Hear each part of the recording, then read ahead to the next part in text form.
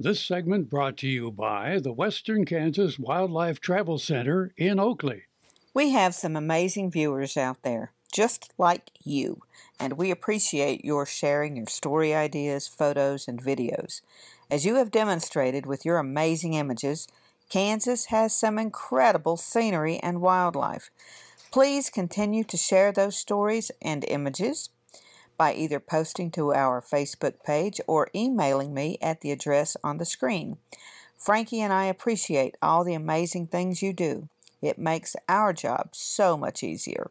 And now, one of those amazing stories brought to our attention by a diligent photographer. There is yet another snake story, yet another scary snake out there, even though the experts tell me it is harmless.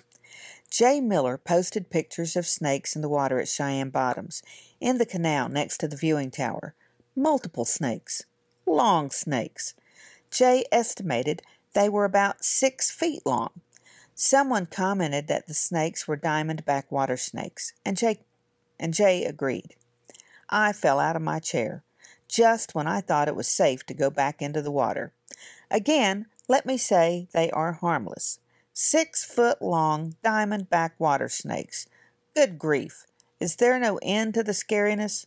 Harmless. Ha! Just in case you should encounter a snake in the pond or the lake, let us turn to the good folks at Fort Hays State University for a description. Larger adults may appear solid brown to olive when they are dry, but the diamond shaped pattern is usually discernible on wet individuals. The tail is ringed, and the rings are the same color as the dorsal markings. The belly is entirely yellow to cream color. Adults normally reach 30 to 48 inches.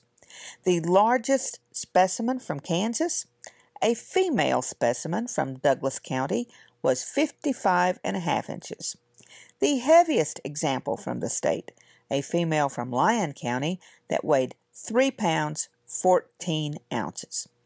Found commonly in farm ponds, reservoirs, and streams along the Kaw below Manhattan, the Marais des Cygnes, Neosho, Verdigris, and Arkansas below Great Bend rivers.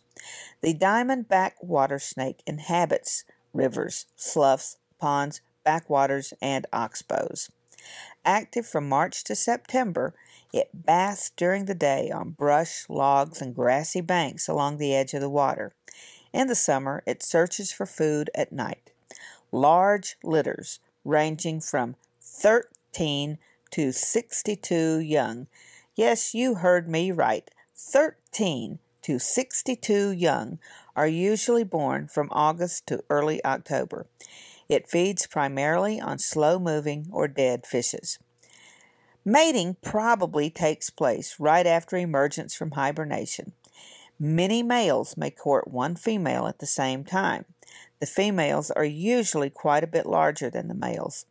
The pair usually will select a basking perch, such as a shrub or branch overhanging water for mating, though they have been observed on the banks or even in the water.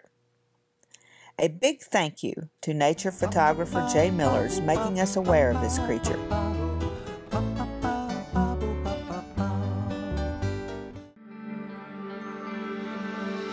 Welcome to Western Kansas Wildlife Travel Center right here in Oakley, Kansas on I-70 at exit 76. I-70, after all, is America's Main Street, and we're right here on Main Street for you.